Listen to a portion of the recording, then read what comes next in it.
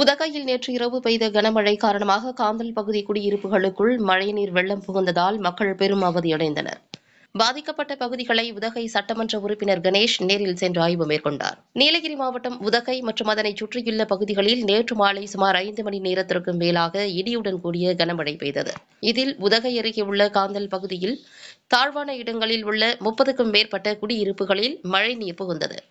இதையடுத்து பாதிக்கப்பட்ட பகுதிக்கு சென்ற தீயணைப்பு துறையினர் மழைநீர் புகுந்த பகுதிகளில் வசிக்கும் பொதுமக்களை பத்திரமாக மீட்கும் பணியில் ஈடுபட்டனர். இதனைத் தொடர்ந்து இன்று காலை காந்தல் பகுதியில் கனமழையால் பாதிப்படைந்த பகுதிகளில் கால்வாய்களை தூர்வாரும் பணிகளை உதகை சட்டமன்ற உறுப்பினர் கணேஷ் மற்றும் நகராட்சி ஆணையாளர் சரஸ்வதி ஆகியோர் நேரில் ஆய்வு செய்தனர். அப்பகுதி மக்களிடையே பேசிய அவர் விரைவில் கால்வாயில் உள்ள குப்பை மற்றும் சகதிகள் அகற்றப்படும் என்றும் மழையின் தாக்கத்தை சமாளிக்க அனைத்து ஏற்பாடுகளும் செய்யப்பட்டுள்ளது என்றும் ஆறுதல் கூறினார்.